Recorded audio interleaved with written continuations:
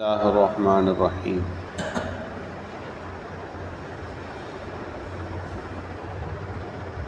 لا تأخذه سنة ولا نوم صدق الله المولانا العليم மேலான அல்லாஹுவின் நல்லடியார்களே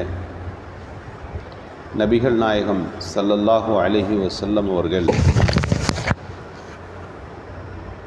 ஹிஜ்ரத் செய்து மக்காவிலிருந்து மதினாவுக்கு சென்றார்கள் மக்காவிலிருந்து நீங்கள் புறப்பட்டு போங்க என்று அல்லாஹு சொன்னதற்கு பிறகு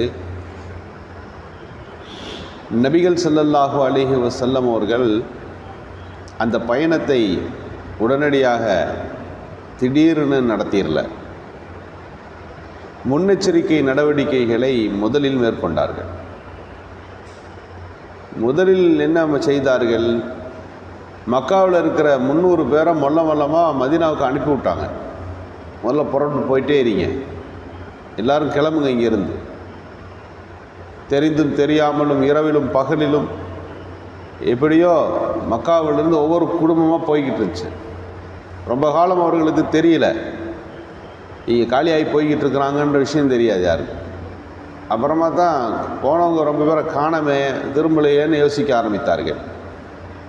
பிறகு போய் போகக்கூடியவர்களை பிடித்து விசாரிக்க தொடங்கினார்கள். சில பேரை தடுத்து நிறுத்த முற்பட்டார்கள். சில பேரோட சண்டையில் ஈடுபட்டார்கள். எல்லாவற்றையும் தாண்டி முஸ்லீம்கள் மக்காவிலேருந்து மதினாவுக்கு போயிட்டாங்க.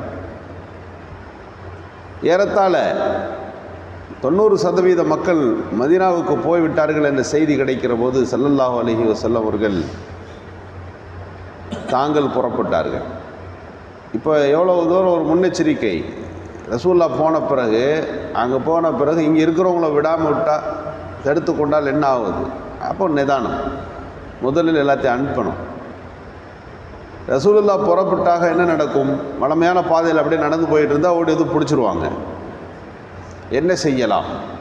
நபிசல்லா அலிஸ்வல் அவர்கள் மக்காவிலிருந்து வளமையாக மதினாவுக்கு போகிற பாதையை விட்டுவிட்டு வேறொரு பாதையில் மதினாவுக்கு போகணும். யாருக்கு அந்த ரூட்டு தெரியும்? மதினாவுக்கு வெவ்வேறு ரூட்டில் போகிறான்னு சொல்கிறாங்களே யாருக்கு தெரியும்? மயிலாடுதுறைக்கு ஒரு பாதை தெரியும். வேறு பாதையில் போகிறதா இருந்தால் வேறு யாரையும் கூப்பிட்டு தான் நம்ம போகணும். இப்படி சுற்றி இங்கிட்டு போகலாங்க என்று ஒருத்தர் சொன்னார்னா நமக்கு அந்த பாதை புரியாது. தெரிந்தவர்களை அழைத்து கொள்வோம். நபிசல்லா அலி செல்லம் கேட்டார்கள் யாருக்கு மதினாவுக்கு சுற்றி போகிற பாதை தெரியும்?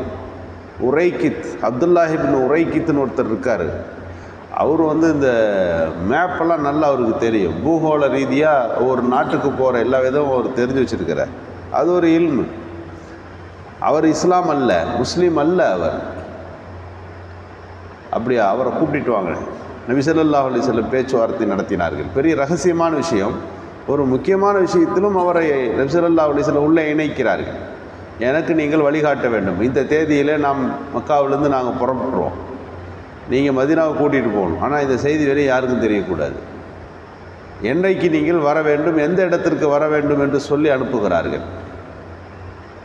நபிகள் சல்லல்லா அலி செல்லம் என்ன செய்ய போகிறார்கள்?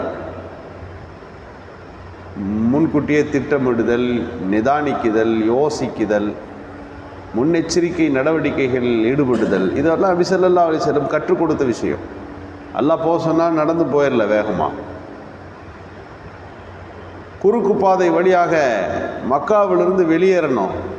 வெளியேறி அந்த பாதையிலும் தொடர்ந்து நடந்து போகக்கூடாது. ஒரு இடத்துல தங்கிடணும்னு முடிவு எடுத்தார்கள். ஏன் தங்க வேண்டும்?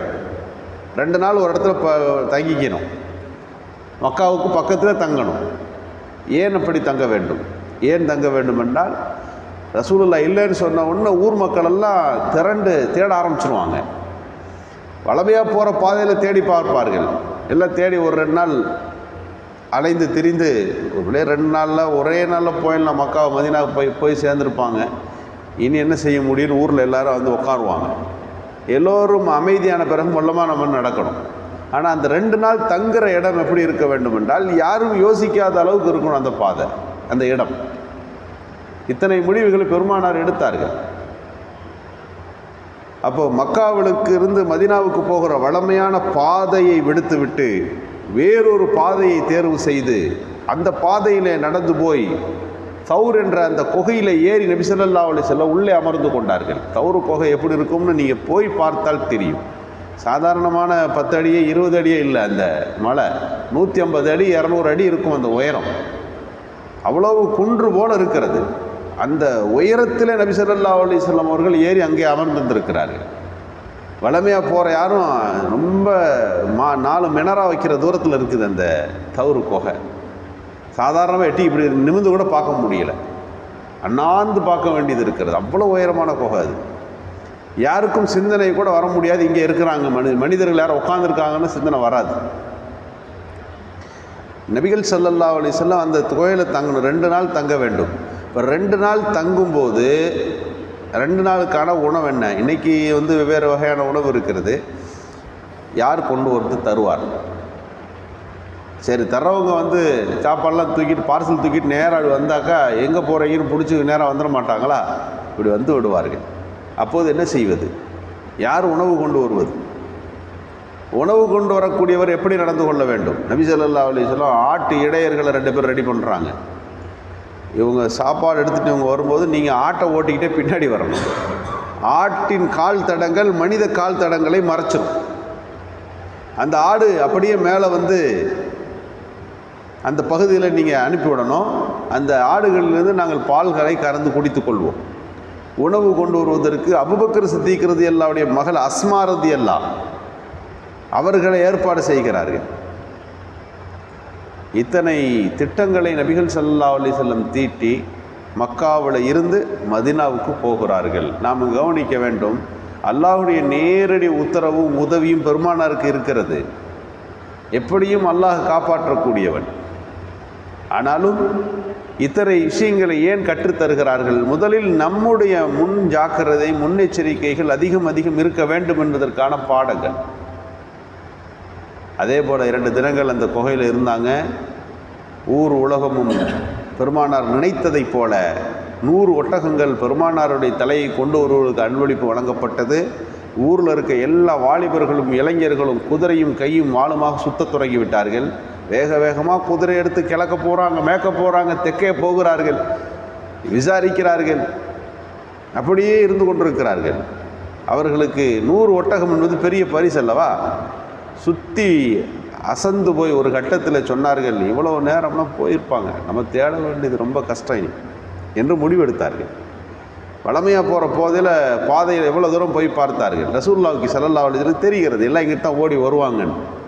யாரும் யோசிக்க முடியாத ஒன்னொரு திசை. ஒரு குரூப் மட்டும் அப்படியே அந்த பக்கத்து வந்துருச்சு. தவறு குகை வழியாக கீழே அப்படியே நடந்து வந்தாங்க. வந்தவர்களுக்கு இந்த மலையிலகளில் கொஞ்சம் பார்க்கலாமா அப்படின்னு ஒரு யோசனை வந்து சில பேர் அந்த மலையிலும் ஏறியும் விட்டார்கள். அல்லாஹால் அந்த செய்தியை ரசூலுல்லாவுடைய தவக்குலும் உறுதியும் எப்படி இப்போ எல்லா திட்டங்களையும் தீட்டினாலும் அல்லாவின் மீது எவ்வளவு வ- நம்பிக்கை இருந்தது என்பதற்கு அல்லாஹ் சொல்லக்கூடிய செய்தி இங்கே தான் நடக்கிறது. ஒரு யுத்த காலத்தில் பெருமானார் தனித்து விடப்பட்டார்கள். சஹாபியெல்லாம் இருக்கிறாங்க. லட்சக்கணக்கான சஹாபியல் முஸ்லீம் ஆகிவிட்ட நேரம் அது. ஒரு யுத்தகலம் அதில் கொஞ்சம் விட்டு விட்டு போகக்கூடிய ஒரு சூழ்நிலை வந்து விட்டது பெருமானார் தனித்து விடப்படுகிற போது அந்த குரானுடைய வசனம் இறங்குகிறது. இல்லா தன்சுருகு சஹாபிகளே நீங்கள் இவருக்கு பெருமானாருக்கு உதவி செய்யலா செய்யாவிட்டாலும் பக்கது நசரகுல்லா இதுக்கு முன்னாடி ஒரு தடவை அல்லாவே நேரடியாக உதவி செய்திருக்கிறான் உதவி செய்து விட்டான் இது அகரஜகுல்லதீன கஃபரு. நிராகரிப்பாளர்கள் மக்காவிலிருந்து அவர்களை விரட்டிய போது தானியஸ் நைன். ரெண்டு பேர் மட்டும் ஒரு குகையில் இருந்தார்கள். இது ஹுமாஃபில் ஹார் ரெண்டு பேர் மட்டும் ஒரு குகையில் உட்கார்ந்துருந்தாங்க. என்று அல்லாஹ் அந்த நேரத்திலும் மக்களெல்லாம் ஒன்று கூடிய போது கூட யார் நம்மை காப்பது என்ற பிரச்சனை வந்தபோது லா தஹசன் இன்னல்லாகமான அல்லாஹ் நம்மோடு இருக்கிறான். அல்லாஹ் நம்மோடு இருக்கிறான் என்று சொன்னவர் அப்போது நாம் அவரை காப்பாற்றவில்லையா? எல்லாரும் ஆயிரக்கணக்கான மக்கள் இருக்கும்போது ரெண்டு பேர்த்த காப்பாற்றணும் இப்போ இவ்வளோ பேர் இருந்து அவர்களை விட்டுவிட்டால் அல்லாஹ் நான் விட்டுவிடா போகிறான்? அவன் அல்லாஹ் காப்பவன் எப்போதும் காப்பான் அப்படின்னு ஒரு வசனம் இறங்குது. இந்த செய்தியை குறிப்பிட்டு இறங்குகிறது. இத்தனை நிகழ்வுக்கு பிறகும் அந்த இடத்திலே அவர்கள் வந்தபோது நபி அவர் செல்லம் அஞ்சவில்லை பயப்படவில்லை. அல்லாஹ் நம்மோடு இருக்கிறான். லா தஹன் கவலைப்படாதீங்க. அல்லாஹ் நம்மோடு இருக்கிறான் என்று சல்லல்லா அலி செல்லம் சொன்னார்கள். இந்த சம்பவம் நிகழ்வுகள் ஏன் நபிகள் பெருமானார் சல்லல்லா அலி செல்லமுடைய வாழ்க்கையிலே நடக்கிறது? நமக்கான பாடம் நம்முடைய வாழ்க்கையின் பாதையில் திட்டமிடுவதை கற்றுக்கொள்ள வேண்டும். எப்போதும் ஒரு செய்தியை நிதானத்தோடு அணுகுகிற போங்குகளை வளர்த்து கொள்ள வேண்டும். முன்னெச்சரிக்கை நடவடிக்கைகளிலே நாம் முன்கூட்டியே ஈடுபட வேண்டும் என்பதெல்லாம் இந்த செய்திகள் சொல்லித் தருகிற விஷயங்களாக இருக்கின்றன. யதார்த்தமான வாழ்க்கையில் அல்லாஹுவின் உதவி இருக்கிறது அல்லாஹுவின் மீது தவக்குள் இருக்கிறது. என்பது ஒன்று. நம்முடைய உழைப்பும் நம்முடைய முயற்சியும் ஒன்றும் இருக்கிறது என்பதையும் நாம் புரிந்து கொள்ள வேண்டும். நபிசல்லா அலிஸ்லம் பல்வேறு விஷயங்களில் நம்முடைய விழிப்புணர்வு குறித்து பேசினார்கள். தூங்குவதற்கு முன்பு உங்கள் போர்வை நீங்கள் உதருங்கள் இது ஹதீஸ். ஏன் உதறணும்? நமக்கு வந்து வெளிரங்கத்தில் பல காரணம் இருக்கலாம்.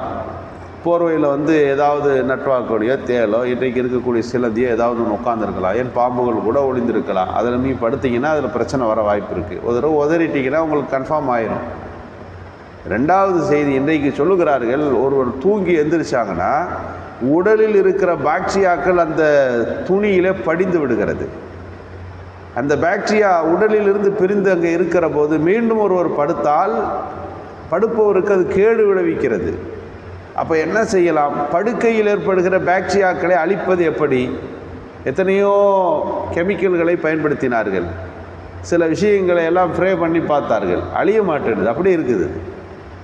யதார்த்தமாக இதை ஆய்வில் ஈடுபட்டிருந்தவர்கள் அந்த துணி எடுத்து ரெண்டு தடவை உதறினாங்க.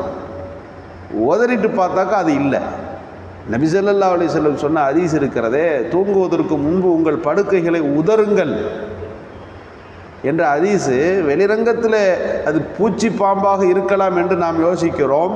விஞ்ஞானத்தினுடைய ஆக உச்சம் சொல்லுகிறது உதரண எத்தனையோ கெமிக்கலை பயன்படுத்தி அதை அகற்றுவதை விட ரெண்டு மூணு தடவை ஷேக் அந்த துணி எடுத்து ஷேக் பண்ணனா அந்த பாக்டீரியா போயிருது என்ற ஒரு விஷயம் அறிவியல் சார்ந்த அந்த விஷயம் இருக்கிறதே.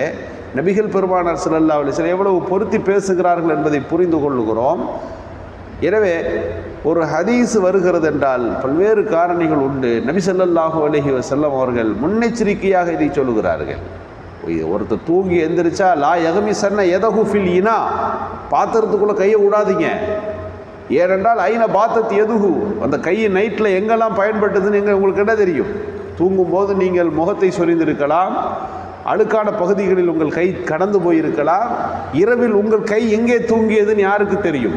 எனவே எந்திரிச்ச உடனே தண்ணி பாத்திரத்துக்குள்ளே கை விடாதீங்க. ஓடு செய்கிறதுக்கு இன்றைக்கி ஹவுஸ் வச்சுருக்கிறோம். அன்றைக்கி நபிசல்லா சில காலத்தில் பாத்திரங்கள் தான் இருந்துச்சு. சின்ன சின்ன பாத்திரங்களை தண்ணி பிடிச்சி வச்சுருப்பாங்க. அதற்குள்ளே கையை நேராக விட்டு தண்ணி அள்ளுகிற வழக்கம். அப்படி கையை விடாதீங்க. முதல்ல வந்து இந்த பாத்திரத்தை சாய்ச்சி முதல்ல கையை கழுவிட்ட பிறகு நீங்கள் அந்த பாத்திரத்துக்குள்ளே கையை விடுங்க. கையை விட்டால் என்னவாகும்? தண்ணீர் நஜீஸாகும். தண்ணீர் அசுத்தமாகும். அந்த தண்ணீரை கொண்டு ஒழு செய்வது கூடாது. இது ஃபிக்குடைய சட்டம். ஆனால் நபிசல்லா அலி செல்லம் அவர்கள் இங்கே சொல்லுகின்ற செய்தி விழிப்புணர்வோடு ஒரு பூமியினுடைய வாழ்க்கை இருக்க வேண்டும். என்பதற்கான செய்திகளாகத்தான் அன்றாட நிகழ்வுகளை பெருமானார் ஸல்லல்லாஹு அலிஸ்லம் பதிவுபடுத்துகிறார்கள். எனவே வாழ்க்கையின் எல்லா கட்டங்களிலும் பெருமானார் சல்லல்லாஹு அலஹி வஸல்லம் அவர்கள் போதித்த அந்த கருத்துக்களை பின்பற்றி வாழுகின்ற நல்ல தோஃபிக்கை நல்வானாக சுபானல்லா மிகந்தி அததகல்